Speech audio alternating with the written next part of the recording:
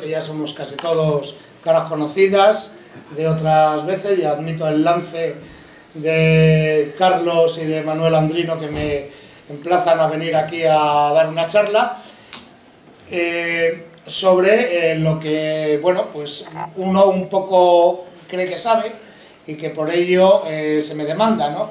Es un poco el tema de geopolítica, política internacional, etcétera, ¿no? Este es el, un poco el, temario que yo pretendo ampliarlo y si al final a alguien le apetece eh, aportar, dar alguna opinión o hacer alguna pregunta, pues yo en la medida de lo posible tendré gusto en responderla. Eh, me gustaría preguntar a la, a la, audiencia si alguien ha visto el cortometraje documental que ha ganado los Goya este año que se llama eh, Gaza. ¿Alguien lo ha visto? Nadie, nadie lo ha visto, vale, bueno. Es un, es un cortometraje, es un cortometraje documental de 18 minutos y hablaremos luego de él, pero eh, recomiendo vivamente que se vea porque está en, YouTube. Eh, bueno, el, en 2018 eh, procuré apadrinar o ser un poco el rector de un libro que tiene por nombre, está aquí, lo he traído por si a alguien le interesa, eh, sería La Guerra Interminable. Este es un libro de colaboraciones, un libro coral, eh, con 10 autores más. Yo procuré buscarlos con un elenco amplio, que no fuera mm, simplemente de la misma línea de pensamiento, de hecho hay varios que no son españoles, hay un libanés, hay un sirio, el resto son españoles y otros, eh, y, dentro de esos españoles, pues los hay que estaban en Madrid, otros que están en otras ciudades y a los que yo no conocía personalmente. Eh, yo procuré mm, que con este libro se diera una visión multidisciplinar de lo que era el conflicto en Siria, del cual la información que nos estaban dando a través de los medios de comunicación era, a mi juicio y a juicio de los que escribimos el libro, sesgada, maniquea y torticera, cuando no totalmente alejada de la, de la realidad de lo que estaba ahí ocurriendo. Algunos habíamos viajado por la zona, otros no, pero no hacía falta porque eh, uno se puede conformar con, los, con los, las noticias de agencia, que es invariablemente la misma noticia, simplemente firmada con un, con un logotipo o con otro, pero que es, es básicamente la misma. ¿no? Eh, estas noticias pues constituyen lo que yo entiendo que se llama el periodismo niñera. Es un periodismo que te va llegando de la mano a donde ellos quieren y la gente pues es complaciente, no tiene mucho interés en cuestionarlo, se va confortablemente a la cama pensando que lo que ha, habido, ha oído o visto en el telediario se corresponde con la verdad. Bueno, frente a eso, pues hay que tener un poco de punto honor, si te interesa eh, el mundo informativo, si quieres estar de acuerdo en el mundo en el que vives y eh, escarbar y ver que probablemente la realidad está lejos de lo que nos dicen.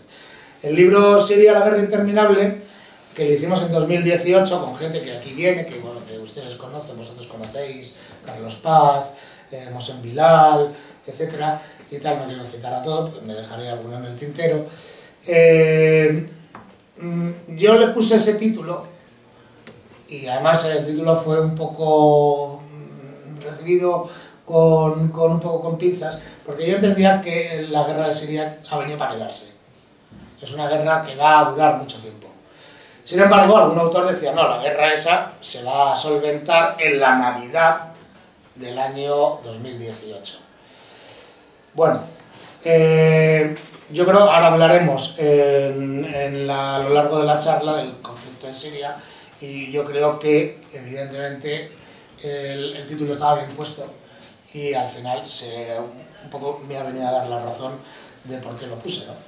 Por otro lado, tengo otro libro también que se llama El aliado persa, desmontando los mitos sobre Irán.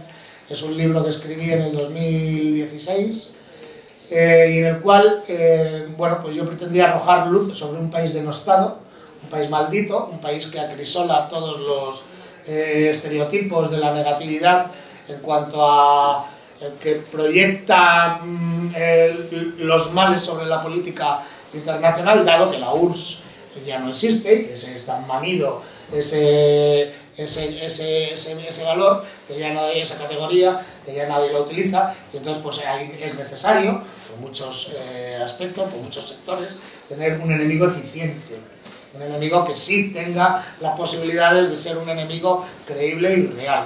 Es decir, eh, eh, Bin Laden no, no pasaba el corte, directa, directamente, un señor que está metido en las cuevas de Tora y tal, por mucho que le hayan endosado las torres gemelas y tal, no sé qué, no es, tiene suficiente entidad para justificar eh, el sector industrial militar eh, de la primera potencia mundial con el presupuesto que tiene y que esté produciendo eh, continuamente armas. Irán sí, Irán sí cumple hasta cierto punto ese, ese, ese aspecto, y eh, hay países muy interesados en que cumpla ese papel de, de, malo de la película de Marvel, directamente, que no puede eh, proyectar nada más que negatividad. Entonces, la nueva política de Oriente Medio, yo creo que desde que escribí el libro, escribimos, perdón, el libro de Siria, pues se ha venido, se ha convulsionado, fundamentalmente por la llegada de Trump. Cuando escribimos este libro, Trump estaba recién llegado, el libro entró en imprenta en abril, y Trump pues, eh, tomó posesión el 20 de enero, que es cuando toman posesión los presidentes americanos. Con lo cual, bueno, pues eh, su política o su, o su incontinencia verbal a lo largo de la campaña, pues dejaba traslucir ciertas cosas, pero realmente eh, todo estaba por hacer, ¿no? A mí particularmente, yo tengo que reconocer que a mí me, me, me encantó la noche de electoral saber que Trump había ganado las elecciones. Lo tengo que reconocer sin ambajes. Me pareció una patada en la boca a toda la progresía, a todo el feminismo rampante y en este sentido me encantó. Pero, claro, yo no soy norteamericano y no vivo de ellos, ni ellos me dan de comer a mí, y lo que en principio puede ser que te guste eso, luego tiene otros perfiles que no son los que a uno le gusta. Pero yo reconozco que solamente por ese mero hecho, a mí la llegada de Trump me gustó enormemente. Como se dice, nos gusta a quien jode, pero no a quien sirve, ¿no? Por ejemplo. es algo parecido con vos. Exactamente. Entonces, el, eh, Trump es un, es, un, es un agente, es un agente que yo creo que en Occidente estamos lejos de saber eh, eh, encuadrarle, de saberle meter exactamente en nuestras categorías porque no obedece a las categorías de un político europeo. Aquí estamos acostumbrados a causa-efecto y esto funciona así. En Estados Unidos tienen otro tipo de comportamiento y desde luego este que ha llegado obedece más a patrones de presidentes periclitados, pasados en el tiempo, que aquí ya no nos informan, pero que si uno estudia la historia de los Estados Unidos, son personajes muy estadounidenses. ¿eh? Eh, y que sin embargo, pues mm, en Europa no sabemos eh, muy bien colocarlos, porque estamos acostumbrados a que desde el final de la Segunda Guerra Mundial los presidentes americanos hayan hecho una política en consonancia con los intereses de la geopolítica mundial. Antes, antes no.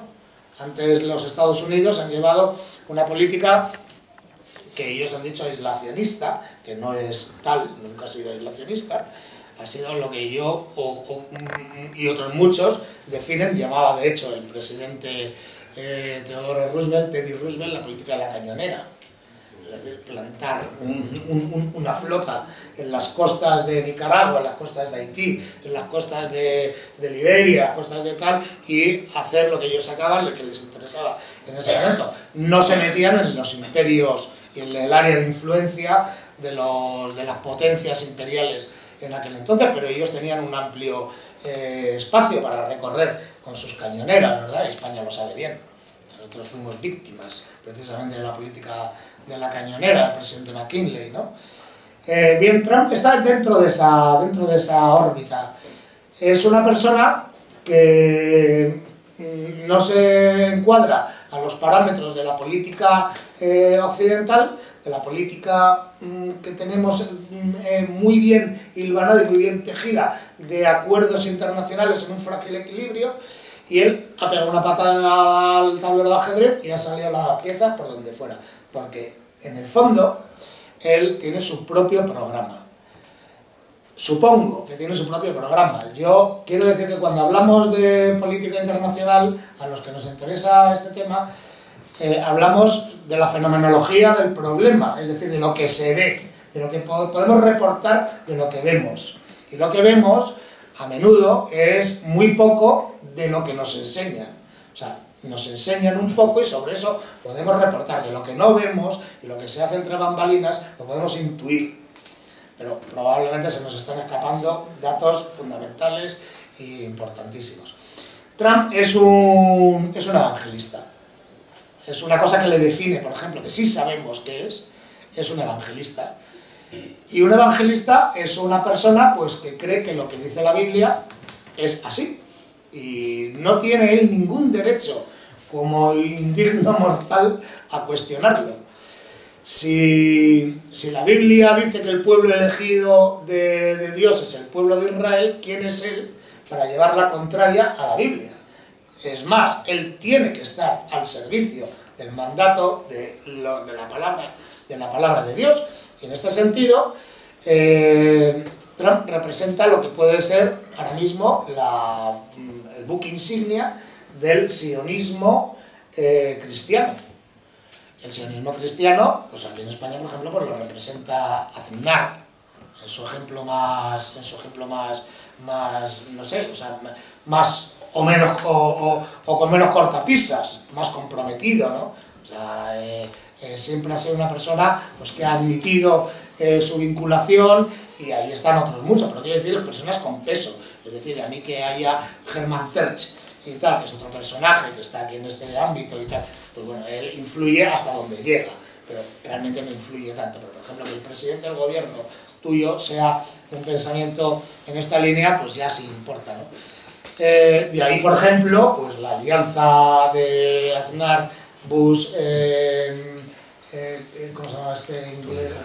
Tony Blair. Tony Blair, exactamente.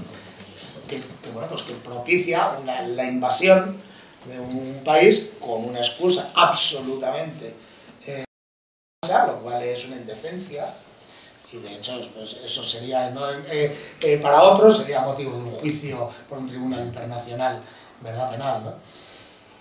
y luego además Trump es un empresario sobre todo o sea sabemos que es un evangelista y además es un empresario un empresario de éxito y es un hombre que se, que se, que se enorgullece de que lo que hace lo mide bajo el patrón eh, eh, beneficios, eh, resultados debe haber. ¿no? Entonces, yo creo que si uno pudiera mirar bajo este prisma, Trump adquiere otra lectura.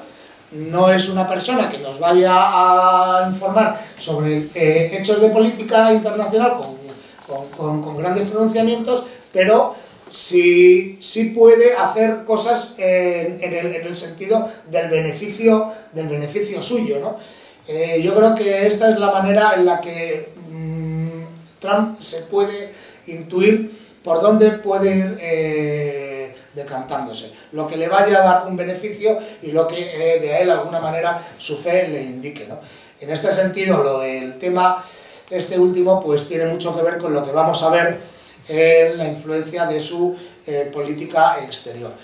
Eh, si Trump está considerado por muchos como un payaso, porque es mm, sorprendentemente, eh, a nosotros nos puede bien caer bien o nos puede caer mal, pero eso no importa, eso no, no, no, no influye ni determina nada. debemos de saber si es, o, o, poder, o tener capacidad para analizar lo que hace y lo que, lo que hace y, lo que, y, lo, y con lo que trabaja. ¿no? Que nos caiga bien o nos caiga mal, eso es otra cuestión. Pero a menudo, pues este señor es eh, estentorio, eh, hace, hace cosas risibles, eh, las relaciones con su mujer son absolutamente chirriantes y tal y cual. Bien, bueno, pues eso es él, porque él asume que tiene una espalda muy ancha, por la que le resbala todo eso, porque le da exactamente igual.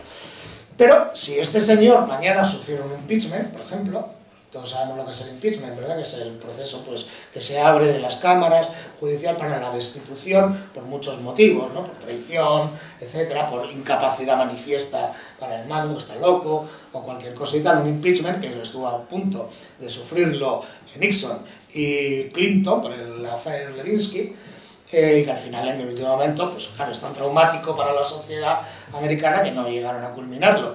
Pero que en este caso pudiera ser que porque los enemigos de Trump son bastante correosos, ¿no? Y están ahí detrás. Bueno, pues detrás está Mike Pence. Y Mike Pence, amigo, Mike Pence no es ningún tonto.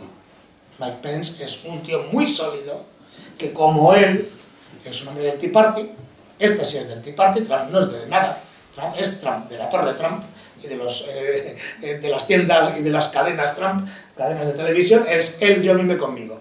Pero Mike Pence no. Mike Pence es un hombre evangelista, lo mismo que, que Trump, pero este sí pertenece al sector ultra del Partido Republicano, que es el Tea Party. Si acaso cayera Trump, estaríamos en manos todavía de una persona mucho más letal para los intereses de todo, que es Mike Pence. Luego Trump ha tenido, eh, evidentemente, en su, en su gabinete, este, un poco que va cogido ahí con alfileres, porque la gente no sabe si va a durar una mañana o va a durar un mes o cuándo, y tal, pues está Jared Kushner, que es eh, su yerno. Este es un, podemos decir, un mozalbete, ¿verdad? Porque me parece que tiene 35 años, 36 a lo mejor, pero vamos, para lo que son los políticos estadounidenses, que es gente, senadores, congresistas de largo recorrido y tal, pues este es un muchacho pero está casado con la bella Iván, eh, eh, Ivanka, me parece que se llama, la, ¿eh? Ivanka. Ivanka, ¿no? La, la, hija, y él es judío, y ha convertido a la hija al judaísmo. Y esto está muy asumido en la familia Trump, porque ya vemos que ellos con el mundo judío no tienen nada que le chirríe, sino todo lo, contrario. El padre de Jared Kushner es un señor que ha trabajado y ha financiado con largueza, con generosidad, el plan de colonias en, Cisjordania. Es decir, él aporta dinero, es un empresario de éxito y aporta cantidades importantes a lo que son los planes de colonización totalmente mm, eh, ilegales, ilegales porque acá está el propio gobierno israelí, a veces, a veces se ve la contingencia de tener que decir, es que no podéis estar aquí y ha habido algunos que han tenido que desmantelar, pero bueno, es la excepción que confirma la regla. Lo normal es, eh, yo he ocupado y hasta aquí y aquí ya me quedo y ya no, me, ya no, y ya no vuelvo para atrás. Bueno, pues el padre de Jared Kushner es un señor que se ha significado mayormente por eh, financiar este tipo de estructura, una estructura gubernamental que, final, que eh, apoya con medios económicos la colonización ilegal de las partes de Cisjordania. Y luego pues hay una serie de personas ahí que son aún más siniestras, ¿verdad? Ahí ya sí que uno se mete en lo que es el estado profundo, ¿no? O sea, esa parte en la que tú ya no controlas, no dominas, no sabes con quién te estás moviendo, que es, por ejemplo, pues en el caso del director de la CIA y que es ahora mismo el secretario de Estado, que sustituyó a Rex Tillerson, un hombre duro, pero que hasta cierto punto era previsible, porque se movía en los parámetros de la política internacional, y, la política internacional pues tiene un lenguaje y tiene unos, eh, sé, unas pautas de comportamiento, ¿verdad? Bueno, pues este señor Mike Pompeo es una persona que directamente eh, ha sido director de la CIA, y ha llegado para, para, para, en fin, para encarrilar todos los deseos que tiene Trump respecto de la, su política internacional. Y luego está John Bolton. John Bolton, que es consejero de Seguridad Nacional, otro halcón, especialista en tramas negras en el ámbito hispanoamericano y que tiene una jurada eh, obcecación con el tema de Venezuela, lo mismo que con Cuba y tal, pero que con Venezuela, pues este hombre es como una, como una, como un, como una China que tiene que, aplastar y que le parece irritable, irritante que a, un, que a la gran potencia se le oponga en el camino un, señor como, como Maduro, ¿verdad? Bueno, en la política de Oriente Medio, en la antigua y en la nueva, eh, evidentemente yo creo que todos los elementos concomitantes gravitan en torno a Irán. Es, el, es el, la pieza mayor de caza. Eh, no hay otro motivo por el que los Estados Unidos estén haciendo ahora mismo política, salvo el, derrumbamiento, el acoso, y derribo de, Irán. Irán que ha cumplido hace cinco días su 40 aniversario de, la revolución. Eh, la revolución islámica de Irán, eh, yo imagino que hay mucha gente que le, que le, produce una negatividad, ¿verdad? Porque mm, tiene unos iconos muy definibles. ¿Cuál es eh, lo relativo a la mujer? Por ejemplo, ¿no? no sé, ver unos clérigos con sus, con sus eh, túnicas, sus turbantes y tal, llamando de una manera enfebrecida a, la revuelta, a la lucha, a la revolución, etc. Todo eso proyecto, eh, y evidentemente asociado a ello, como no, pues dentro de la revolución de Irán eh, estuvo el capítulo que recordaremos aquí muchos, el tema de los rehenes de la embajada en norteamericana, estuvieron 444 días eh, secuestrados. ¿no? Entonces todo esto proyectó una imagen sumamente negativa sobre, sobre Irán. Esa imagen Irán no la, no la ha recuperado, no tiene capacidad para, para recuperarla. Y es una, una presa fácil para, para su enemigo secular, los Estados Unidos. Los Estados Unidos nunca perdonarán la humillación de la embajada de, de Teherán. Es decir, los Estados Unidos, esto ocurrió en el año 79, los Estados Unidos cuatro años antes habían vivido unas escenas muy parecidas en la embajada de Saigón, con esos helicópteros en los que se montaban, los tíos que saltaban como podían mm, en el paroxismo para coger el último helicóptero y volar al, portaaviones y que lo sacara de allí. Esa derrota clamorosa en, Vietnam se reproducía miméticamente en Irán. Y de hecho se intentó liberar a los rehenes de la embajada en lo que se llamó la Operación Guerra, de Ávila y se solventó con un eh, eh, estruendoso fracaso, con ocho marines muertos en el desierto de, de Kebir, eh, un Hércules y varios helicópteros incendiados, etcétera, que le dio lugar a Irán a decir, ¿veis cómo teníamos razón? veis cómo estos eran lo que decimos que son. Entonces, eh, Estados Unidos respira por la herida todavía eh, con el tema de, Irán y quiere someterlo, como sea, quiere, o sea, eh, es ahora mismo su bestia negra. Es el único enemigo realmente que tiene porque con Putin se puede entender más o menos bien y con China debe de entenderse si no quiere llegar a otras cuestiones. Pero Irán es asumible Irán es, digamos, si Estados Unidos quisiera, podría doblegarle de una manera militar, ellos creen. Eh, de manera que al llegar eh, Trump al poder, pues lo primero que hizo respecto a Oriente Medio, bueno, hizo una cosa antes, ¿verdad? Eh, fue viajar a Arabia Saudí, donde fue recibido, pues no sé, en olor de multitud, con los sables y todas estas cosas que hacen por allí y tal, no sé qué porque eh, él iba a vender, iba a vender una cantidad exorbitante de material nuevo, eh, bélico, y entonces, eh, por eso digo yo, he dicho en la introducción de Trump, que Trump hay que mirarle pues, en, su variante de hombre de negocios. Él va a los sitios haciendo negocios. Si el negocio sale bien, pues podemos seguir hablando. Si el negocio no va a salir bien, pues entonces te mando la cañonera y, y, y, haremos que salga bien por otros métodos. Entonces este hombre lo primero que hizo fue viajar a Irán, perdón, viajar a Arabia, y allí pues se retrató con todos y, allí pues firmó unos acuerdos de 200 mil millones de dólares de venta de todo el material súper sofisticado que tienen. Esto recuerda lo que hacía el SA. El hacía exactamente lo mismo. El era un comprador de armas, eh, pero de primera. O sea, miraba catálogos de armas como el que miraba eh, catálogo de ahorramas. Y sabía perfectamente que, quería un F-14 y no quería eh, el Phantom, y que quería una fragata Spruance y no quería tal, y que, en fin. Este, bueno, pues los árabes, Arabia Saudí, está instalado en lo mismo. Y Trump está dispuesto a vendérselo. Por lo tanto, la primera visita que hizo Trump a Oriente Medio fue a Arabia Saudí para firmar este acuerdo millonario.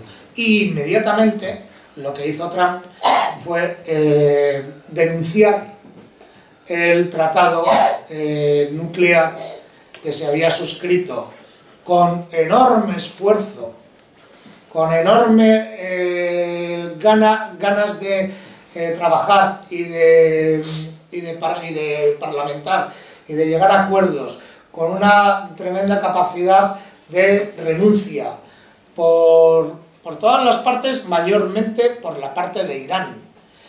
Eh, y que mm, requirió una obra de encaje muy elaborada de una, de una, alta política internacional en lo que se llamaba el acuerdo 5 más 1 más Irán. Los 5 es el acuerdo, el Consejo de Seguridad, de Naciones Unidas, los cinco países que ganaron eh, la guerra machina, más uno, que es Alemania, que viendo que eh, se iban a firmar acuerdos muy buenos, muy interesantes con Irán, él quería estar allí para poder vender todo lo que se vendiera a Irán, más Irán, evidentemente. Bueno, todo esto venía porque se acusaba eh, a Irán de tener un programa nuclear secreto. Eh, y mm, se implementó toda una política de sanciones para que Irán renunciase a ese programa nuclear secreto. Bueno, eh, el tema es que eh, Israel, digamos que manifestaba un temor a ser destruido por el arsenal nuclear que Irán estaba construyendo. Porque Irán decía que construía este arsenal nuclear para destruir a Israel. Entonces a Israel esto le sonaba perlas directamente. Era música celestial para ellos porque podían hacer, digamos, que siempre ha estado durante este tiempo, hasta donde Netanyahu es la extrema de la extrema de la extrema derecha en, Israel, que es un país de la extrema derecha en, el concierto de las, de las, de las naciones, ¿verdad? Entonces, eh, Netanyahu eh, pidió eh, que, que, Irán fuera dominado. Eh, digamos que eh, Israel se acogía a mm, discursos intempestivos, discursos que para la, inteligencia de los países no tienen más validez que el que es de consumo interno para el electorado, que eran los que soltaba Ahmadinejad a esos mítines. Pero, la, repito, quien sabe de esto, sabe que eso no iba a ningún lado. Eran discursos eh, pues, eh, eh, propios de la excitación y, sin ninguna consecuencia. Entre otras cosas, porque quien conoce Irán sabe que en Irán la política exterior y sobre todo la orden de ir a una guerra o no, no la determina el presidente del gobierno, la determina el líder supremo, que es el Ayatollah Ali Khamenei. Es decir, Ahmadinejad nunca podría haber declarado la guerra a Israel sin el concurso del líder supremo. Esto era como si, por ejemplo, Carrero Blanco le dice a Franco que va a ir a la guerra y Franco le dice que no. Pues funciona una cosa muy parecida, es como funciona eh, en, ese, en ese terreno. Eh, por lo tanto, pues se sabía que las frases de Ahmadinejad eran de consumo interno, pues para un público excitado, un público que odia América, un público que odia Israel, pero que no tiene más recorrido que eso. Sin embargo, Israel eso le venía de perlas para decir, señores, tenemos aquí enfrente a un integrista, un fanático que está soñando con un segundo holocausto, esta vez nuclear, sobre nosotros para destruirnos. Porque verdaderamente esas frases eh, Ahmadinejad las decía sin importarle y sin atender a razones. Eh, por lo tanto, se obligó a, Irán a firmar este acuerdo nuclear. El acuerdo nuclear pedía apertura total de las instalaciones, transparencia total a los inspectores de la Comisión Internacional de la Energía Atómica para que miraran absolutamente todo lo que ellos quisieran. Y en ese momento se le levantaban las sanciones a Irán. Irán recibía 300.000 millones de dólares que tenía bloqueados en cuentas exteriores y además podía exportar petróleo libremente.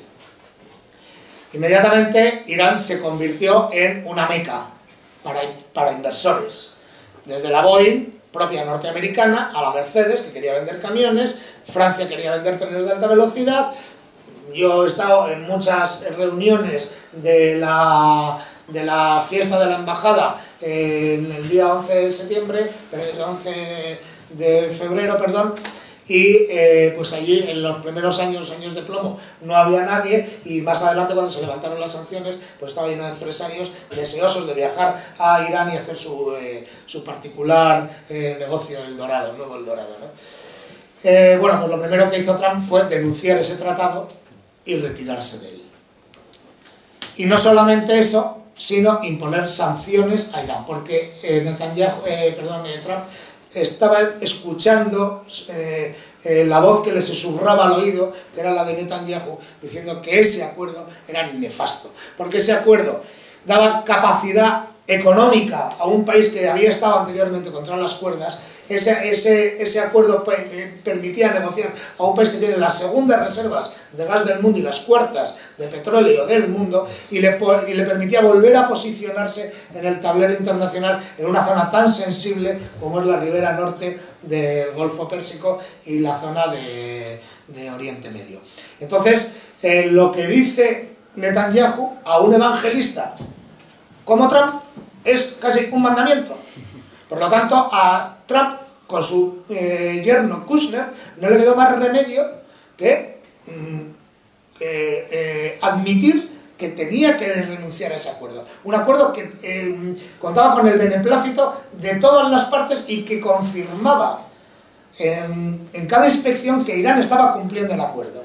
Sin embargo, este señor, hemos dicho, que pegó una patada al tablero de ajedrez y todas las piezas saltaron por donde fuera. Él no le importaba eso. Si a él una, su conciencia le decía, su conciencia, quiere decir su pepito brillo, aquí atrás, en este caso Netanyahu, le decía que tenía que denunciar ese acuerdo, él lo iba a hacer sin ningún tipo de cortapisa.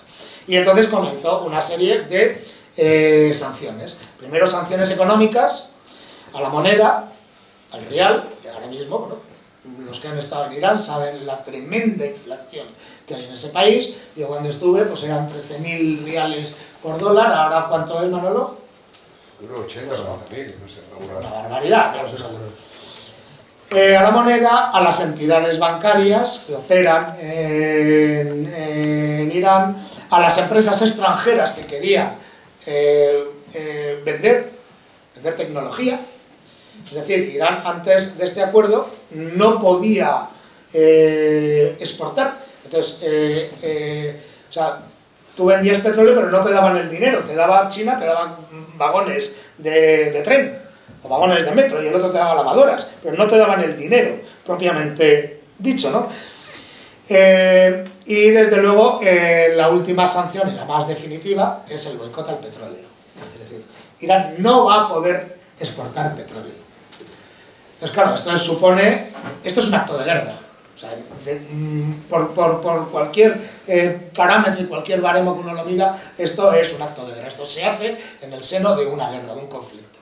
Entonces, Irán, bueno, pues allí estamos, estamos aquí. Eh, no sabemos muy bien esto por dónde va a salir, porque cada día son cosas nuevas. Eh, Irán ha dicho que ellos van a exportar petróleo, evidentemente, que lo van a exportar y que si tienen que llegar a una acción más contundente, pues la llevarán. Por otra parte, los cuatro otros miembros del, del, tratado nuclear denuncian a Estados Unidos por haberse retirado unilateralmente del acuerdo cuando la otra parte estaba cumpliendo. Es decir, le están denunciando públicamente, pero Irán, eh, Estados Unidos ha dicho, al país que negocie con Irán, yo le voy a poner sanciones y me da igual si es Francia, que si es Rusia, que si es... Entonces, se está articulando una especie de eh, mecanismo paralelo para poder trabajar con Irán sin pasar por el filtro de naciones de las sanciones de los Estados Unidos. Vamos a ver hasta dónde llega esto. Como eh, Trump es un negociante, puede que haga lo uno y lo otro. que es lo que yo creo que al final va a acabar pasando. Es decir, no es tan dogmático de evitar que esto pase, porque entonces me cierra poner sanciones a todos los países realmente creadores de riqueza y al final puedo ser, resultar perjudicado yo. Es decir, puedo crear esta situación, pero al mismo tiempo dejar una puerta abierta para que por ahí se cuele, eh, digamos que la letra pequeña es de donde está el demonio, ¿verdad? Eh, eh, Netanyahu quiere y exige a Estados Unidos que obligue a Irán, para levantarle las sanciones, eh, que suspenda su energía nuclear, pero no la destinada a fines militares, que era la que parecía que le daba miedo, porque decía desde el año 2006 que quedaban seis meses para la construcción de la bomba atómica, pero pasaban los meses y los años y la bomba atómica no aparecía por ningún sitio, evidenciando el fraude tremendo en el que Trump estaba, eh, eh, el, el, el, tocomocho que Trump estaba dando a la opinión pública internacional, pero que nadie se atreve a decirlo porque, amigo, ahí están los campos de concentración, evidentemente, y ese estigma, pues ese estigma tú lo arrastras siempre. Entonces, si no lo quieres eh, posicionarte conmigo, es que entonces tú eres connivente con regímenes de los que no merece, de los que no, de los que no interesa hablar, ¿verdad? Eh, entonces, eh, lo que se exige a Irán es que renuncie a la energía nuclear pacífica, a la, a la médica, por ejemplo. Es decir, que tú no tengas eh, medicina nuclear para el cáncer. Eh, ¿Por qué? Porque con cualquier eh, residuo que tú tengas, estos suponen que puedes construir una bomba sucia o puedes almacenarla o puedes construir el día de mañana algo, ¿verdad? Entonces, claro, lo que tú no quieres para ti lo exiges para los otros, porque si alguien tiene armamento nuclear en Oriente Medio, ese es precisamente Israel. Eh, evidentemente, todos lo sabemos, la central nuclear de Dimona, sus misiles Jericó, etc. ¿verdad? Pero además Irán tiene que suspender su programa de misiles. Eh, los misiles a Irán le han dado ahora mismo probablemente el, cortafuegos para no ser atacado. De no haberlo tenido, probablemente eh, Irán sería ahora mismo mucho más vulnerable. Pero estos hombres, mm, mm, prácticamente en el aislamiento, han logrado hacerse con una tecnología misilística muy aceptable y que parece ser que es bastante efectiva. Claro, esto no está eh, testado sobre el terreno. Eh, Israel tiene eh, y otros muchos países sistemas antimisiles muy perfeccionados, pero tú no te arriesgas a que uno de ellos, porque si mm, son relativamente baratos de hacer los misiles, si tú lanzas una granada y te pueden derribar sobre los cielos de Tel Aviv 5 o 6, pero te caen otros 5 o 6, pues te puede hacer, eh, en fin, una masacre. Y entonces, eh, pues parece ser que Irán tiene una tecnología desarrollada, una tecnología misilística, puede que también comprada en la forma eh, un poco eh, por atrás de tecnología norcoreana, etc. Lo cierto es que sí, parece ser que tiene una tecnología bastante avanzada. Ello no quiere decir que la vaya a utilizar, la tiene como un recurso defensivo, y lo ha dicho siempre. Pero eh, Israel exige que Irán se despoje totalmente de esa, de esa, de esa tecnología. Que no tenga misiles, por decirlo de alguna manera, que sea totalmente inerte, vamos, inerme, eh, no pueda nunca amenazar a sus vecinos y que desde luego Israel nunca se pueda sentir amenazado por, la, por, por, por cohetes lanzados desde Irán. También Irán debe terminar, según eh, el acuerdo al que le obliga el Dogal, al que le obliga a Trump para levantarle esas sanciones, tiene que terminar toda intromisión en los países del entorno. Eh, es que Irán es un país hegemón. Es un país hegemón es un país que por historia, historia secular, una historia imperial, madre de religiones, madre de imperios, el imperio aqueménida, el sasánida, el, el safávida, eh, religión zoroastra, eh, religión chiita, maniqueísmo, es un país de vocación eh, dominante en su, en su área. Son 80 millones de personas en una zona axial en Oriente Medio, salida a dos mares. claro, todo ello determina muchísimo la, la geopolítica en la, en la, en la zona. ¿no? Entonces, esto es muy difícil de sustraer porque la geografía es la geografía y ya está ahí. Entonces, claro, Lo que sí se quiere es que, bueno, pues que este Estado sea una especie de Estado ganadero, de alguna manera, lo que querían hacer de Alemania al final de la Segunda Guerra Mundial, ¿no? Se llevaron los soviéticos toda la industria alemana y los americanos todos los científicos, y entonces bueno, que esto sea de vacas y de, y arados, ¿no? De alguna manera, bueno, pues yo creo que lo que se pretende, el sueño al que aspira eh, Israel es tener eso pues en los desiertos de Irán y bueno, pues que alguien venga a ver Persépolis y tal, pero que poco más, ¿no? Que no tenga ninguna capacidad de eh, influencia en su entorno. ¿Por qué? Porque Irán influye en, en países donde el chiismo es eh, la religión o la principal o la que porcentualmente tiene más importancia. En este sentido, por ejemplo, el, el 60% de la población de Irak es chiita. Los grandes santuarios del chiismo no están en Irán, están todos en Irak. Eh, está en, en, Kerbala, está en Samarra, eh, etc. ¿no? Una, una parte muy importante de la población de Siria es de una deriva eh, chií. Eh, son, son chiitas no duodecimanos, sino septimanos, que son de siete imanes, etc. Lo mismo ocurre en Líbano. Entonces tú hay, y lo mismo ocurre en Afganistán, y de hecho en Yemen también, hay más sitios, ¿no? Pero tú puedes coger un, un, un eje que te vaya desde Asia Central hasta el Mediterráneo y estarías ocupando países chiitas y el foco, el importante, el que irradia a todos ellos, porque no ha renunciado desde la revolución de 1979, es Irán. Claro.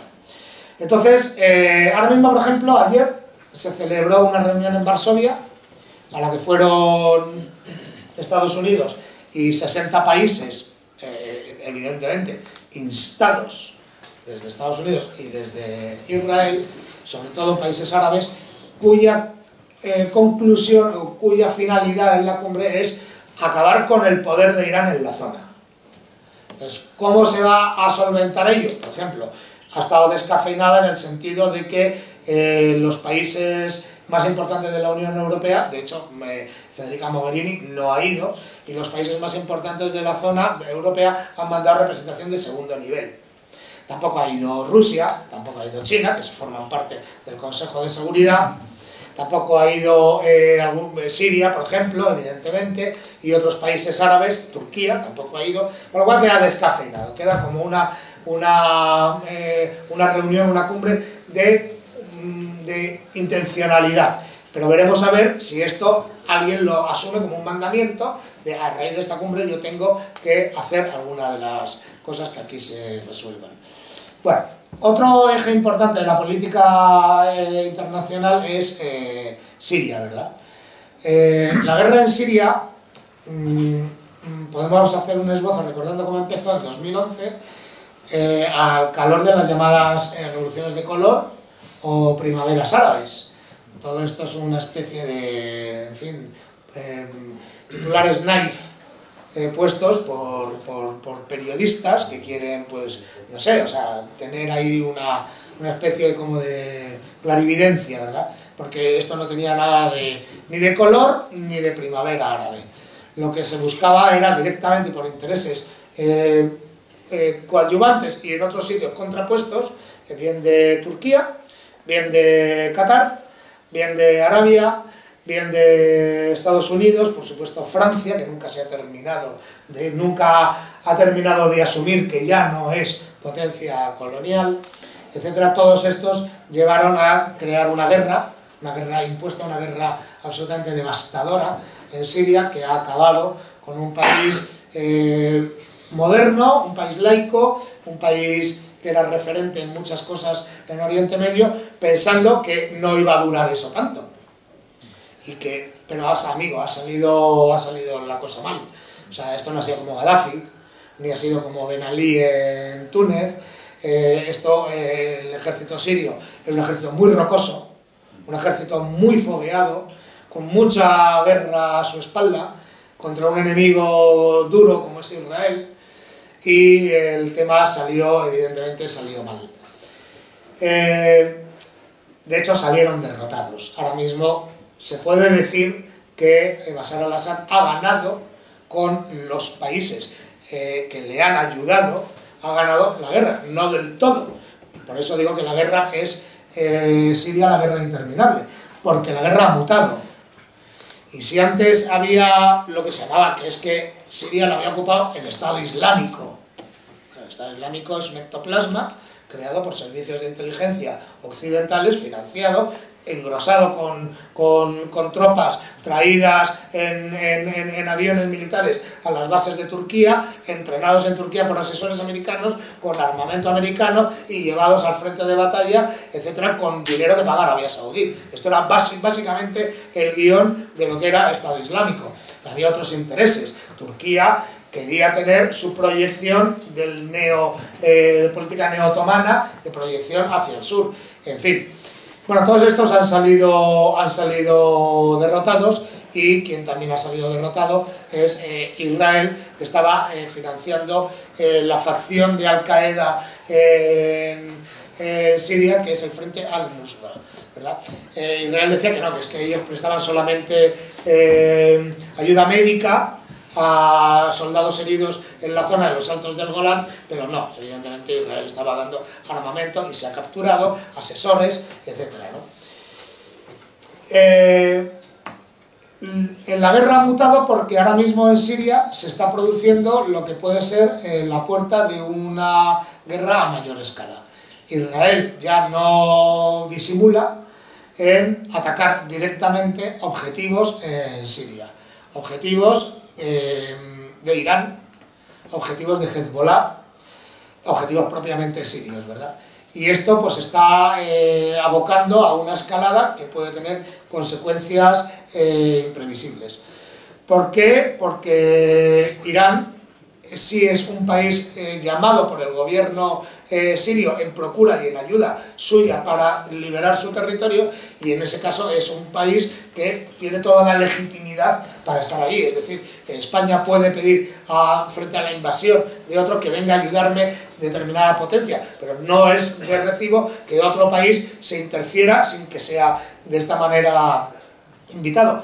Eh, eh, Turquía, perdón, Irán y Rusia sí han propiciado, han decantado la guerra en el sentido del presidente Bashar y ellos ahora mismo están negociando y están eh, trabajando sobre eh, la futura paz y el reparto de lo que ahí puede ocurrir. Pero claro, aquí ha ocurrido que eh, Irán ha crecido, ha crecido exponencialmente y ahora mismo es una potencia con una influencia muy notable en Siria. Esto es algo que Israel no puede, no puede tolerar de ninguna manera.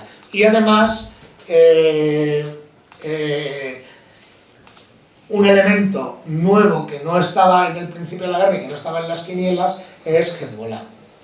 Hezbollah es eh, el, ejército de los chiitas del Líbano. El sur del Líbano, Líbano es, digamos, el Oriente Medio en un país. Está verdaderamente atomizado de esa manera, desde católicos, que son los maronitas, a ortodoxos armenios, eh, griegos, eh, sunitas, chiitas, una, un sincretismo religioso que son los drusos, etc. Bueno, ahí en ese pequeño país, que es del tamaño de Israel, que viene a ser un poco como la comunidad de Madrid, ahí está todo, toda la amalgama de Oriente Medio está allí. El sur del país es chiita. Y en esa región, que es la que ha invadido Israel consecutivamente para eh, eh, eh, crear su espacio vital a expensas de otros países, se encontró con la resistencia de la población chiita que se armó en una facción llamada el Partido de Dios, que es Hezbollah. Hezbollah al principio era una guerrilla, pero fue aprendiendo y al final se convirtió en un ejército formidable que derrotó a Israel en la guerra de 2006. Derrotar a Israel es que Israel tenga 100 muertos, 100 soldados muertos. Eso para un país como Israel es inasumible. En el lado libanés hubo 1000, es decir, uno por cada 10. Pero para Israel 100 soldados muertos es inasumible. No solamente eso, sino que sus famosos carros de combate Merkava fueron eh, eh, destruidos y una, una fragata invisible, supuestamente porque tenía un sistema de refrigeración que la hacía invisible a, los, a los misiles eh, dirigidos de temperatura, pues fue dañada por una misil de Hezbollah, ¿verdad?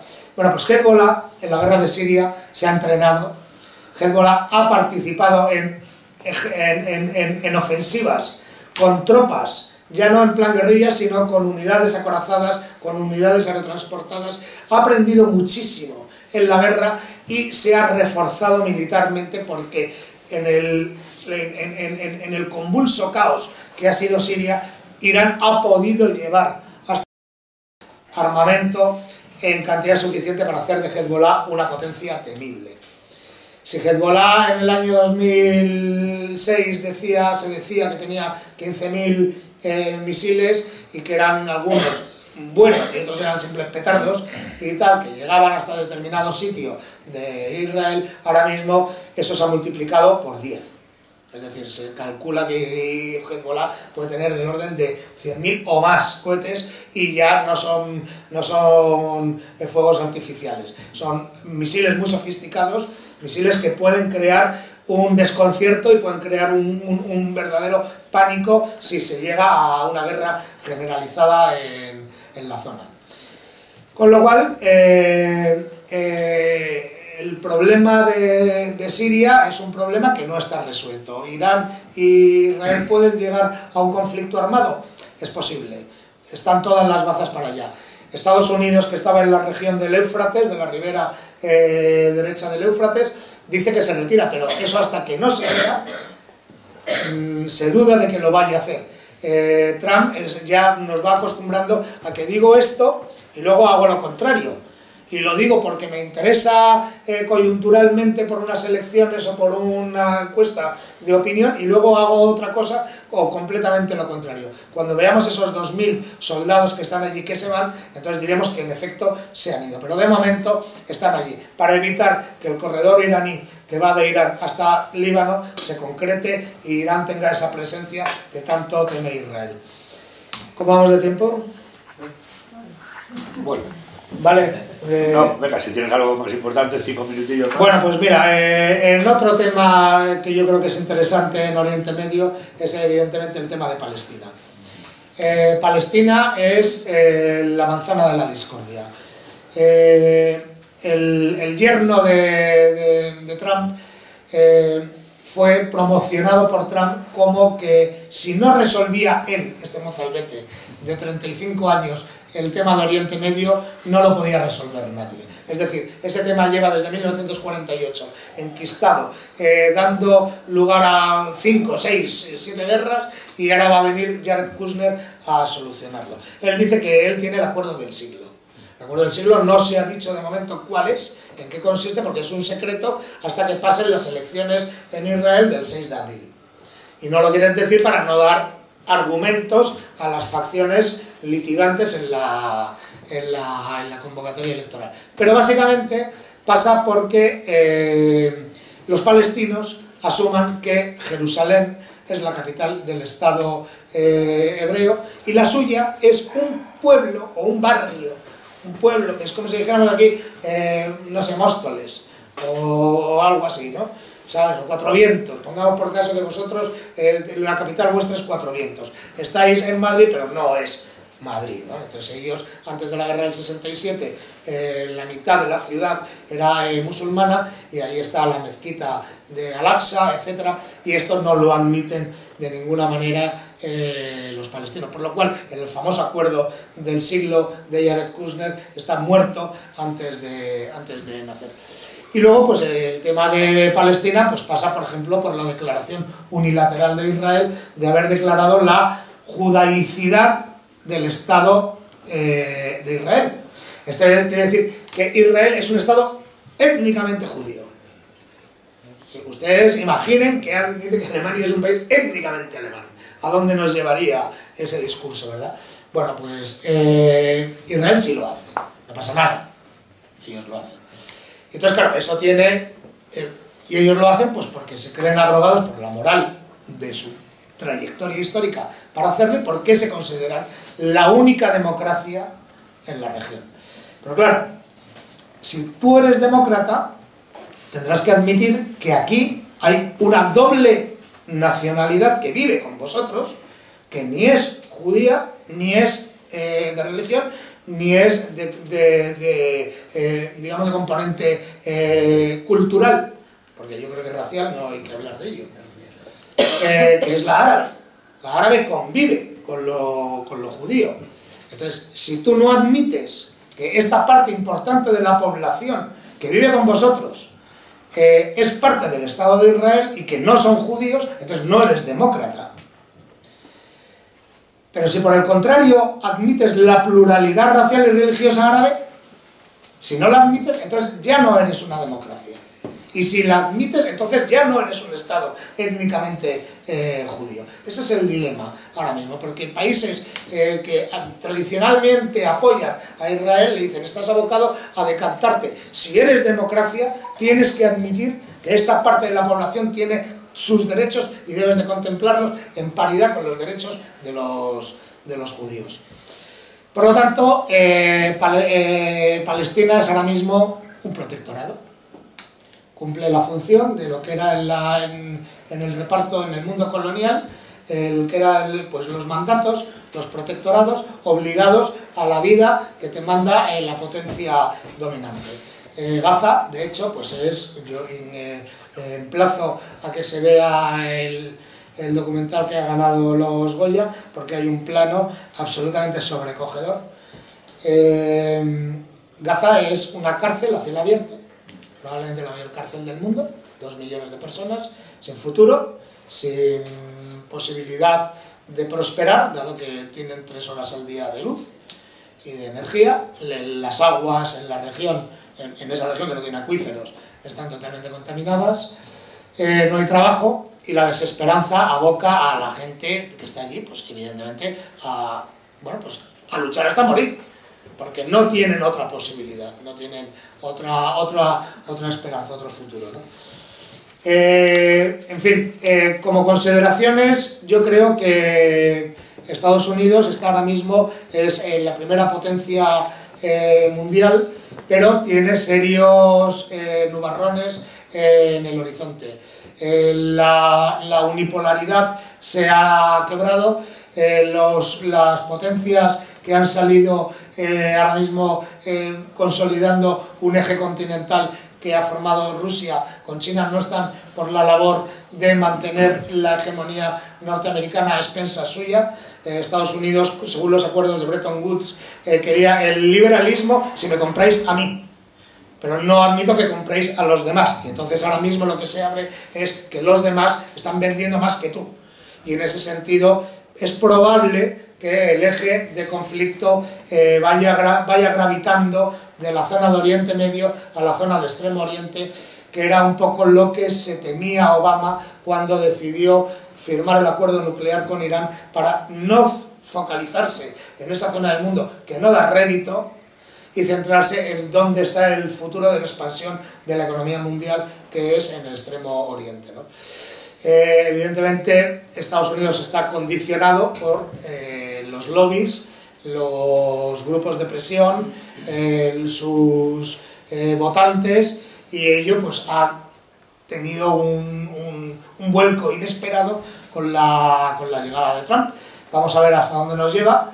Yo creo que todavía es pronto, quedan dos años del primer mandato de Trump y creo que tiene todas las trazas para repetir un segundo mandato. En el segundo mandato es cuando el presidente de los Estados Unidos saca verdaderamente su política exterior. La primera parte del- de los ocho años que suelen hacer, salvo Carter, por ejemplo, o, o Gerald Ford y tal, que no eran eh, tal, pero generalmente todos los presidentes hacen dos mandatos. En el segundo mandato, y sobre todo cuando se llama que es el pato cojo, eh, es cuando directamente estos ya no tienen nada que perder, se dedican a hacer lo que realmente su conciencia o ellos creen en puridad que deben de hacer. Y ahí es donde la política internacional para Irán creo que pinta, pinta, pinta bastos, pero Irán es un país viejo es un país milenario, eh, ha sobrevivido al reparto colonial, ha sobrevivido a otras circunstancias, sobrevivirá a Trump. No lo sé, ya lo veremos. Muchísimas gracias.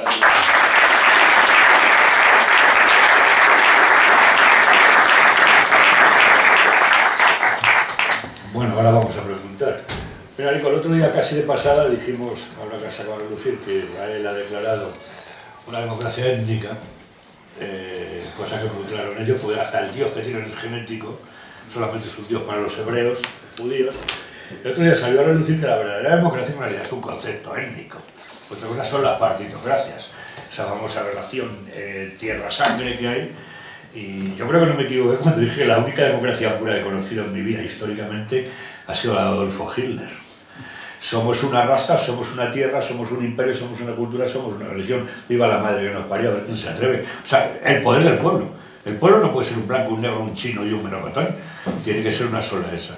Entonces, están imponiendo ahí, hace tiempo la constitución israelí o hebrea eh, empezaba de eh, Israel se un estado sionista socialista.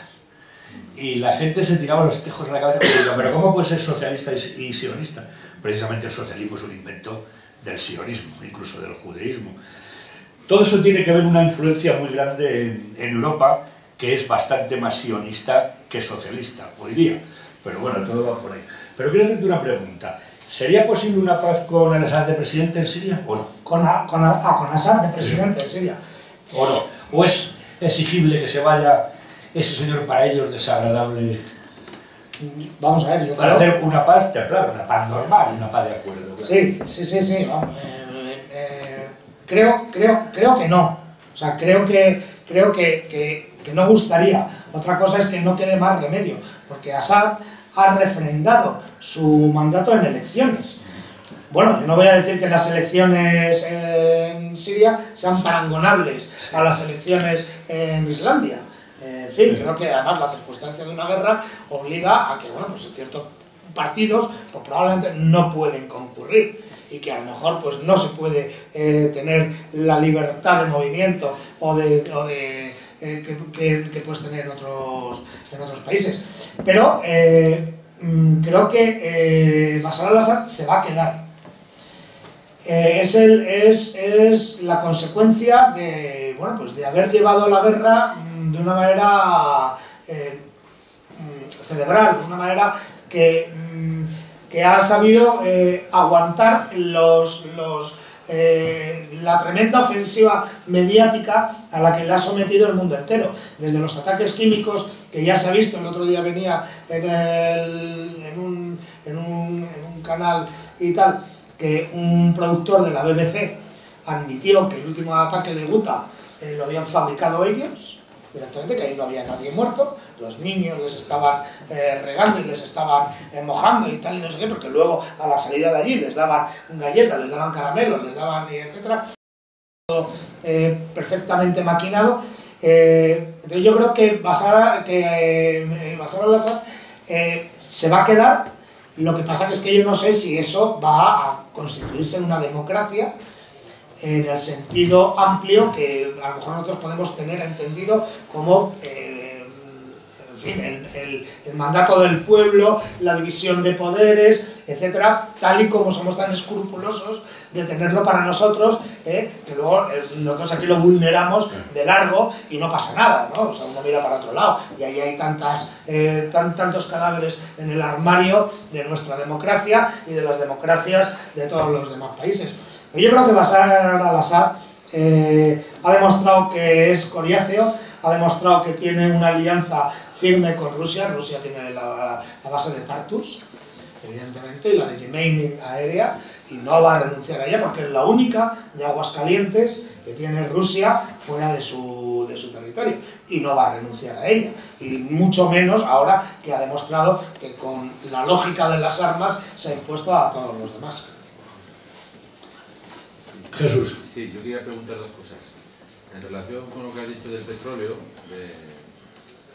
de, que el gobierno de Trump que podría poner sanciones a aquellos países que quisieran comprar petróleo a Irán, en virtud de esas sanciones, eso, por ejemplo, puede, puede afectar a España. Claro, o sea, España lo ha afectado. O sea, España tuvo que, que, eh, que, que- que, eh, obligatoriamente sumarse al embargo de petróleo eh, iraní cuando, mm, vamos a ver, Irán, o sea, Irán está en todas las tertulias mm, representando la negatividad en este país, porque Pablo Iglesias eh, eh, estaba en Hispan TV, porque a Vox le ha financiado los, eh, iraníes de Mujahideen. Irán aparece en todas las ensaladas de este país. Irán nunca ha hecho nada a España. Las relaciones entre España e Irán son perfectas, o sea, nunca hemos tenido. Ellos nos vendían muy buen petróleo a- de, excelente calidad a muy buen precio. Los americanos nos obligaron a tener ese embargo sin decirte dónde lo tenías que comprar. Tú ya no lo puedes comprar esto. ¿Dónde lo tienes que comprar? Búscate la vida, macho. Ah, pero es que tenía yo muy buen precio. Eso yo me acuerdo de comentarlo precisamente en no sé qué cadena y tal al ministro Margallo. Dice, bueno, es que a nosotros nos obligaron. Eh, pero re- realmente a, a mí como ministro de Asuntos Exteriores no me gustaba tener que hacer ese embargo a un país que a nosotros no nos ha hecho nada. Entonces sí, es verdad, nosotros ahora mismo estamos, vamos, pero, pero como el que más, ¿eh? O sea, nosotros no somos, somos irrelevantes. Pero tú crees que al final Estados Unidos, ya no solamente con España, se va a enfrentar con Alemania gente que sí, porque Claro. países sí que tendrían también interés. Claro, yo es que eso- enfrentarse, ¿no? Es- o sea, yo no. eh, Sí. O sea, yo creo, yo creo que Estados Unidos va a dejar una puerta abierta para no tenerse que enfrentar comercialmente a todos los países que en el fondo forman parte de su, de su esfera comercial. Estados Unidos vive de lo que vende a estos países. Si tú no estás vendiendo, por ejemplo, la industria militar, si tú no vendes F-16 a los diversos países y tal de la OTAN, y tal, no sé qué, pues entonces es que tú ya estás haciéndote daño a ti mismo. Entonces yo creo que Estados Unidos, que no es tonto, es decir, esto no es Cuba. Cuba no tiene nada más que la zafra y los puros, punto. Puedes vivir sin ello, pero no puedes eh, vivir ya sin una potencia con reservas importantes de gas, reservas importa- importantes de petróleo. Mañana seguro que tiene minerales eh, de bauxita, níquel, etcétera, interesantes y que no los están explotando. ¿eh? Entonces yo creo que Estados Unidos eh, hasta cierto punto sabe que no debe hacerse daño a sí mismo. Otra cosa es, por ejemplo, el tema de Venezuela. Ahora mismo, Estados Unidos, eh, ¿qué interés tiene Estados Unidos en Venezuela?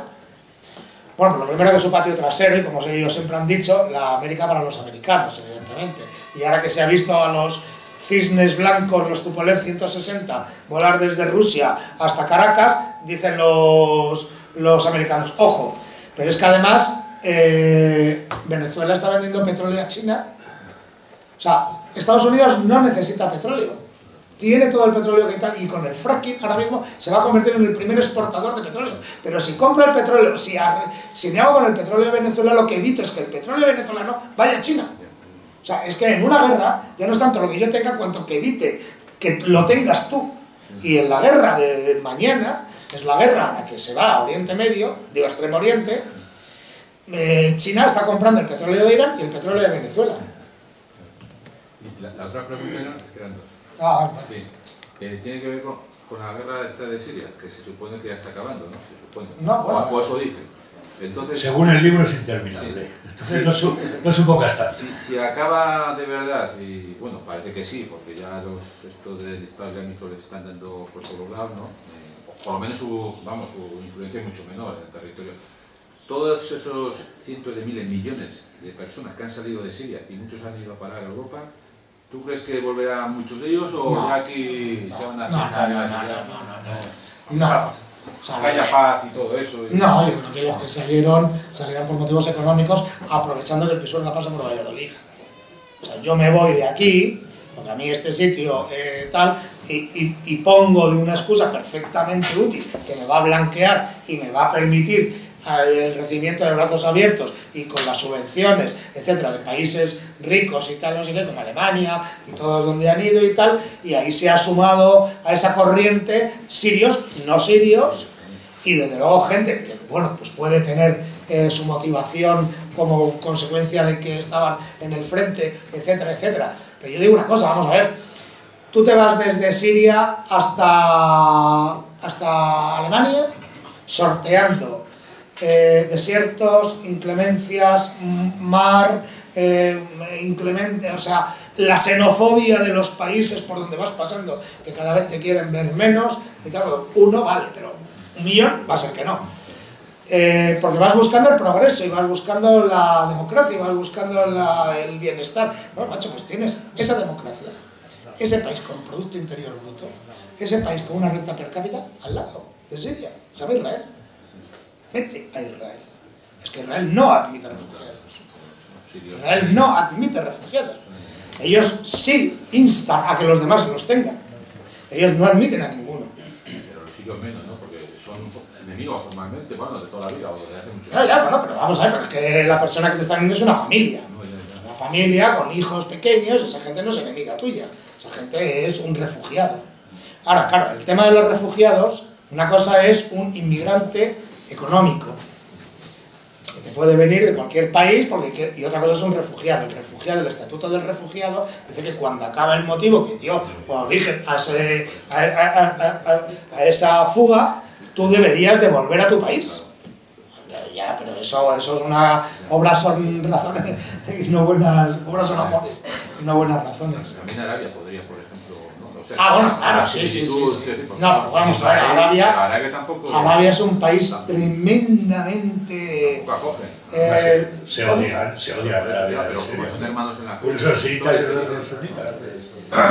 Pero, pero no, pero es que además Arabia, o sea, Arabia trata fatal a toda la gente que tiene, o sea, y Arabia tiene eh, malayos, filipinos, eh, pakistaníes, de Bangladesh, trabajando para ellos en condiciones verdaderamente de esclavitud. ¿eh? Claro.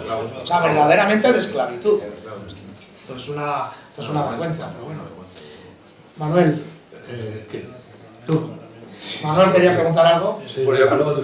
Supongo que por tiempo no has incidido más en, la, Por tiempo, sí. en, en lo que significa Turquía en la zona, Ya. que esa es la otra pata del banco Justamente. y la pata más importante del banco. Los que hemos estado en Irán, en Irak, en Siria, en Jordania, en el Líbano, en Israel, por ejemplo, el nombre que no se le cae de la boca a nadie es Turquía y ahora mismo es Erdogan y su política imperialista. Sí. El Irán, por ejemplo, Irak, incluso el tema religioso chiitas y los sunitas, tiene ese enfrentamiento religioso que no es menor, pero ahora el enemigo con mayúsculas, por todo lo que significa, y además se ha atrevido a dar la espalda en un momento determinado a Rusia e incluso a los Estados Unidos, es Turquía, es la Turquía de Erdogan. Y eso son palabras mayores. En cualquier rincón de Irán se habla de Erdogan, en cualquier rincón de Irak se habla de lo mismo. Los yazidí que están siendo masacrados junto a nuestros camaradas peleando en Siria hablan de Erdogan, que son los que les bombardean con total impunidad. Es que Turquía es muy importante en la zona, muy importante. Evidentemente Turquía tiene vocación imperial, eh, eh, Siria pertenece a lo que fue el Imperio Otomano, la el, el cercenamiento y amputación de, por, por- por las potencias coloniales del Imperio Otomano es algo que no han superado nunca en Turquía y Turquía se ve llamada ahora mismo con, con Erdogan, desde que está Erdogan, a recuperar su espacio de influencia.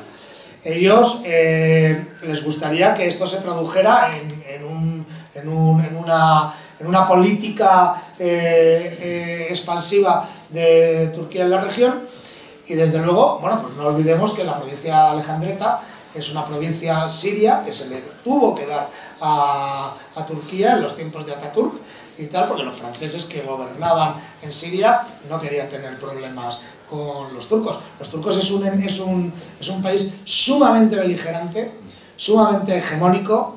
Eh, ellos se consideran faro, eh, es un país no árabe, es musulmán, pero vamos, de los, de los tres países influyentes del, mundo musulmán, eh, no es árabe Turquía, no es árabe Irán, y sí es árabe Egipto, que es el tercer país que tiene influencia en Oriente Medio, que determina culturalmente Oriente Medio.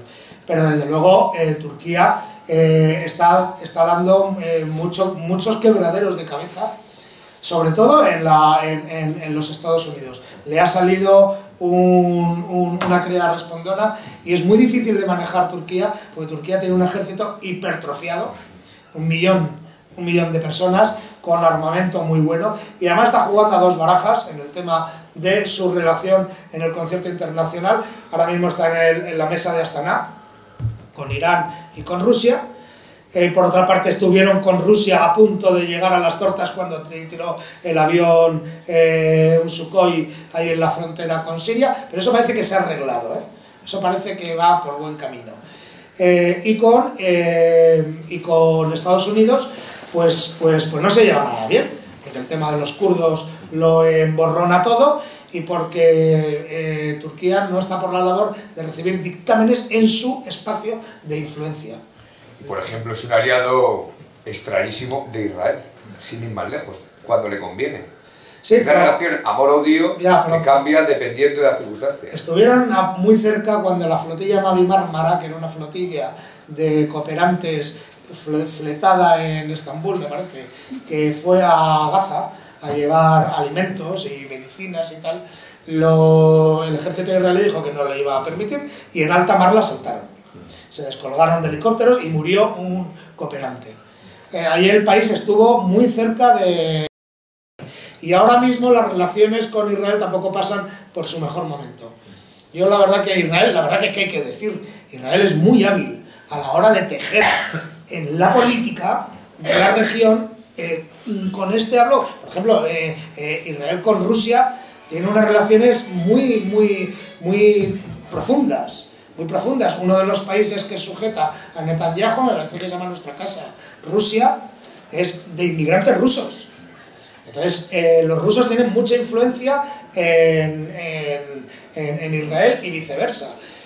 Ahí Israel es un país que sabe hacer y sabe tejer alianzas donde parece que no hay, saca a ellos y ahora mismo pues están, bueno, estábamos hablando de Turquía. Pero bueno, yo creo que Turquía es un país que tiene su, propio, eh, su propia guía de hoja de ruta y, va a dar, va a dar, va a dar eh, algún, algún comentario más. No, no sé cómo va a asumir el tema de los kurdos, si va a permitir que eh, Al-Assad ocupe toda la zona kurda y ellos administran el territorio creando una faja de seguridad. En fin, ahí está ese tema, lo emponzoña todo. Y desde luego los kurdos, una vez más, se ven traicionados. También por Irán, entre otras cosas. Claro, a ver, Kurdistán se extiende a lo largo de cinco países. Mayormente Turquía, el 25% del territorio es kurdo, en Irak, tienen casi un Estado semi-independiente, el único país que los reconoció en la independencia fue Israel, eh, estos, no dan hilos sin puntada, eh, se extienden en Siria, se extienden una parte, yo también estaba allí, en Irán, en la zona de, de Kermanshah, etc., y también en Armenia hay, hay, hay kurdos. Bueno, pues estos se quedaron después de la Primera Guerra Mundial sin Estado, ahora mismo soñaban con que podían tener con el reordenamiento de la guerra de Siria un Estado y no lo van a tener tampoco. Buenas noches, Buenas noches, ¿qué tal? Mira, mi pregunta, bueno, me gustaría saber el ejército islamista que está combatiendo en Siria una vez que han perdido la guerra. Eh, me gustaría saber todo ese conjunto eh, de tropas hacia dónde se están retirando. Pues esa, esa pregunta yo creo que es la pregunta que se está haciendo todas las cancillerías. Eh, van a ir a algún sitio. O sea, el Estado Islámico no ha desaparecido como tal. El Estado Islámico yo creo que es como una, una figura de un como, un, como, como el fuego de una cocina. Lo subes o lo bajas, según te interesa. Pero mientras no lo apagues, eso queda allí. Eh, pueden... Mm, puede convivir todavía en la zona grupos importantes y no está todavía del todo desmantelado.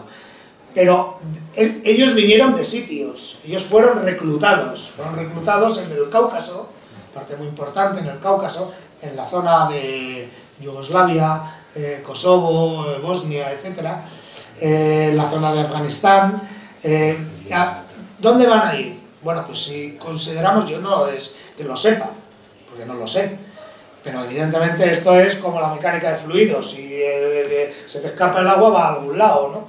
Entonces ellos, ellos pueden ir a otro sitio donde los mismos que les llevaron a Siria les interese tenerlos en otras, en otras posiciones. Esto te abre, pues mira, desde el Tayikistán al Kirguistán, a de nuevo Chechenia, Dagestán, es decir, estos hombres estaban al servicio de una determinada, determinadas potencias económicas que les pagaban y mientras esas potencias sigan allí, pues esos guerreros, los que no hayan sido masacrados, todas maneras tienen una capacidad de reclutamiento muy, muy importante. Saben eh, vender muy bien eh, a, a- a nivel eh, eh, informativo y de, y de imagen su, su, su política, ¿verdad? O sea, cuando los justiciamientos estos de Estado Islámico, yo me dedico a la televisión, y yo recuerdo la, la secuencia de la ejecución del piloto jordano en una cárcel que le quemaron, no sé si os acordaréis, Sí, eh, jaula. él había, eh, eh, eh, un, un piloto jordano, unos jordanos, habían bombardeado un- eh, una ciudad que estaba allí. Como tiraron a un piloto jordano, le llevaron a esa ciudad y le dijeron, esto lo habéis hecho vosotros. Estos que había aquí han muerto por, la, por el fuego vuestro, por el fuego has de morir. Y le prepararon un- un- un- un- una gran puesta en escena. Yo realmente que me dedico un poco al tema, conté hasta 10 o 12 cámaras. O sea, los tiros de cámara estaban por todos lados, pero perfectamente puestas, ¿eh? O sea, no es coger el teléfono, ir con el teléfono y tal, como algunas cosas que hemos visto de esta islámico, decapitaciones. No, no, esta era una puesta en escena de un realizador. Entonces, esto quiero decir con esto, que eh, el Estado Islámico sabe muy bien vender su, su, su mundo, su ideal, etcétera, y pueden volver a tener nuevas reclutas. Pueden haber perdido en Siria y formarse en Irán. ¿Eh? Irán, para mí, es un campo de batalla. Yo, De hecho, ayer antes de ayer, uno de los últimos atentados, hubo cincuenta y tantos muertos Justamente, sí, en señor. el sur de Irán. Sí. Algo que se silencia en sí, Occidente. señor, exactamente. O sea, el tema de Irán, yo creo que es el futuro escenario de, de batalla. Creo que la guerra de Siria todavía no ha terminado creo que hay nuevos escenarios, por ejemplo, crearle a Rusia problemas en su esfera de influencia islámica, pues hombre, estaría encantado, estaría encantado ciertas cancillerías de que eso fuera así, que estos tíos dejen de meterse las narices donde no les llaman, como en Venezuela o en Siria o tal, y vamos a crear problemas en vuestra frontera. ¿Dónde van a ir? No lo sé, pero ya te digo que esto es como la mecánica de fluidos. Eh, lo que no va va para otro lado. Esa mecánica de fluidos con frecuencia termina en Londres, en París, en Marruecos, Sí. en Bélgica, o sea que responde solo parcialmente a tu pregunta de dónde van a ir. Muchos van a volver a su casa, a las afueras de, de Bruselas, o de Madrid, o de Argelia, eh, por esos fluidos ¿no? de los que hablábamos, que son, Sí, sí, sí, sí. sí. son muy variados. ¿eh? Pero yo creo que la guerra en este sentido, eh, mientras haya el enconamiento eh, ahora mismo que es au- auspiciado artificialmente, chiismo, sunismo, es decir, chiitas y sunitas, han vivido toda la vida, toda la vida. De un tiempo a esta parte se ha creado esa rivalidad y tal, y, pero es una rivalidad que, eh, no sé, es como nosotros con los protestantes. Pues sí, hombre, en los tiempos del emperador lo llevamos a espadazo limpio y tal, igual, pues bueno, eh, ya eso, eso ya no informa, eso ya no lleva a ningún sitio, ¿no? Es decir, y chiitas y sunitas, pues cada uno con sus diferencias y tal, unos más mayoritarios, otros menos ma- eh, más minoritarios, pero han podido vivir. De un tiempo a esta parte se ha auspiciado, se ha instado, se ha eh, insuflado eh, animosidad en, en ciertas cancillerías para eh, derrocar y tumbar a, a Irán. Eh, y yo creo que el tema... ¿Y no crees que antes era incluso para contra Saddam Hussein meter el veneno en, en Irak, no en Irán? Y así tener las dos A ver, claro, o sea, eh, bueno, vamos a ver, o sea, Irán ha sido eh, eh, acosado, acoso y derribo de todas las maneras posibles. La primera, evidentemente, fue la guerra. O sea, bueno, vamos a ver, lo primero fue eh, golpes de Estado que se producían dentro de la propia revolución. O sea, la revolución no se, no se consolidó hasta pasado bastante tiempo. Pero dado que esos, bueno, esos mm, militares realistas no conseguían eh, derrocar al- al- a la república recién erigida, pues se declara un- la guerra, se arma a un señor, se le da una cantidad y se le lleva a la guerra. Pero vamos, la guerra que la pagó perfectamente. Vamos a ver, tan es así que la deuda que contrajo Saddam Hussein con Kuwait no la pudo pagar terminada la guerra y le obligó, eran no sé si de la época, ¿eh? 300 mil millones de dólares del año 90 y no la pudo pagar. Entonces, pero la tengo que cobrar y te dijo, bueno, es que no te la voy a pagar. Y como encima Kuwait ha sido territorio de Mesopotamia antes de que los ingleses lo partieran y no se lo repartieran, pues lo que hago es a- aprovecharme, no te pago y me lo quedo todo el día. Y claro, Eso no te hago, sus que- aliados, que me quedo con el monedero. los aliados al final los Saddam Hussein le acaban marcando. Sí, Mario. yo siempre he tenido la duda con respecto a Turquía y la política ahora del lugar del expansionismo. La posibilidad que siempre hemos visto cómo Estados Unidos ha liderado un cierto patro- eh, patrocinio de entrada de Turquía en Europa. ¿Podría ser el Erdogan cambiase su, eh, su óptica y dirigiese su óptica hacia Rusia? Sí. De, de Rusia volver a, a influir como pasó. Bueno, yo no sé si hacia Rusia. Yo te digo una cosa. Yo, por ejemplo, que he estado en Irán, también a mí la gente que hablaba yo con jóvenes y tal, estos muchos se querían ir. Yo me quiero ir. ¿A dónde? ¿A Alemania? ¿A, no, no, a Nueva York? No, yo me quiero ir a Estambul. O sea, la- el, el- el- el- ideal de ellos como ciudad, como destino es Estambul, porque es musulmán. Entonces no me voy a ver obligado a vivir en una sociedad, bueno, pues eh, tú lo podemos llamar si queréis de infieles o de tal, que yo creo que eso, en fin, ellos no lo utilizan con esta acritud, pero bueno. eh, entonces yo no sé si eh, eh, Turquía puede ir hacia eh, Rusia, pensemos que el Producto Interior ruso es muy pequeño, el Producto Interior ruso es del orden del de Italia. Eh, territorialmente son 25 Españas, pero el Producto Interior Bruto de Rusia es muy pequeño. Con lo cual te quiero decir que no es una potencia económica que sea muy sugestiva. Pero es que Turquía puede crear su propia esfera, ¿eh? su propia esfera turcomana o musulmana en la zona y tal, y en la cual ellos sean un referente económico, porque la guerra, bueno, pues no les ha afectado. Turquía es un país pues que tiene, si habéis viajado por allí, en los que lo conocemos y tal, pues es un país de cierta prosperidad, no se vive nada mal. Estambul eh, tiene una calidad de vida, mm, coño, eh, que es, joder, es un imán y tal, ¿no? Entonces yo creo que Turquía, perdón. Ankara, igual. Sí, sí, sí, o sea, yo creo que, y, más ciudades, ¿no? Una costa, un turismo, unos recursos, estar, o sea, que Turquía puede verse tentada. Mm, Yo me acuerdo que cuando eh, en, Turquía, hablando con, con la gente, eh, eh, decían, ya no queremos entrar en Europa. O sea, como con despecho, nos habéis rechazado tantas veces que ya no queremos. Pero nosotros podemos montarnos con Líbano, con, con, con, con Israel, evidentemente, tienen una relación económica y tal, y bien, bien pues, o sea, perfectamente pueden sobrevivirse en Europa.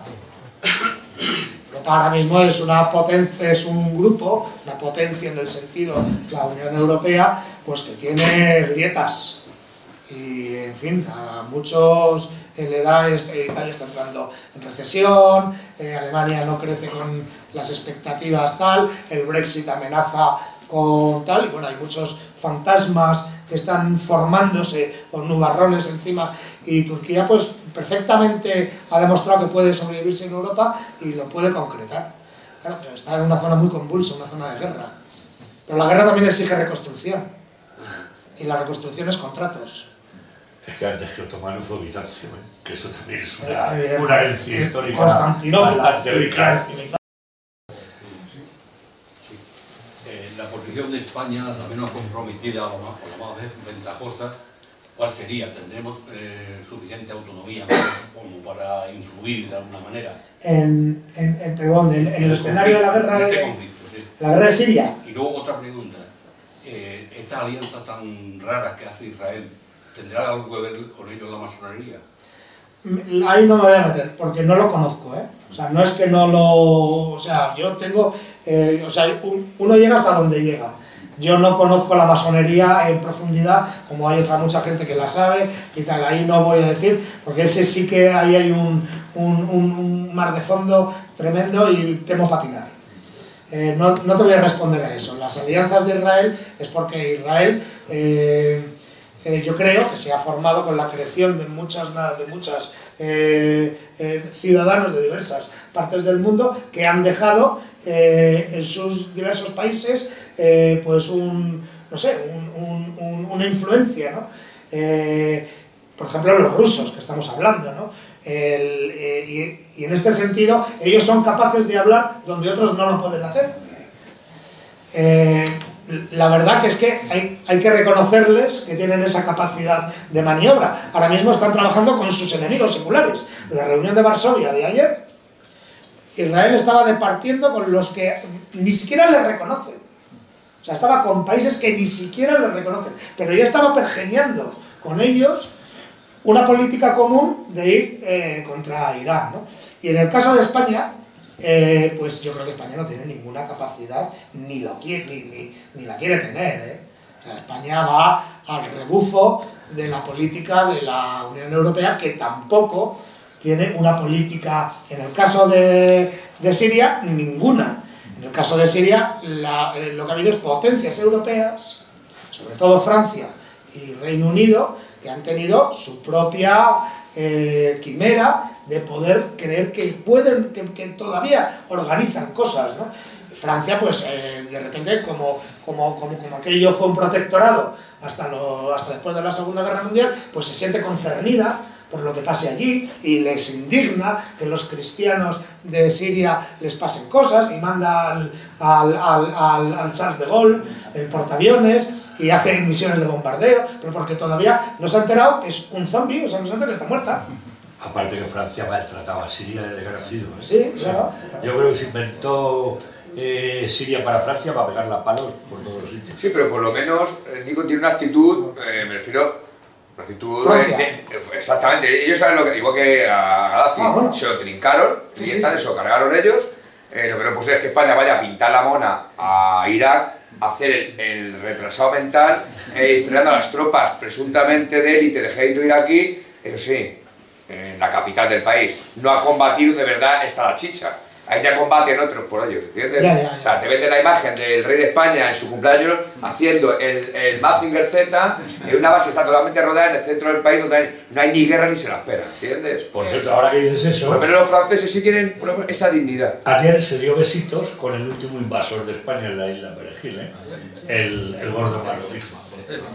Eh, A ver, última pregunta. ¿Ya no hay más? Venga, última. Los refugiados que tiene Turquía ya se los irá quitando, ¿no? Ahora que termina la guerra, pues es un problema para él y además le pide subvenciones a Europa para que los mantenga no... Bueno, pues a lo mejor precisamente por esas subvenciones se las queda.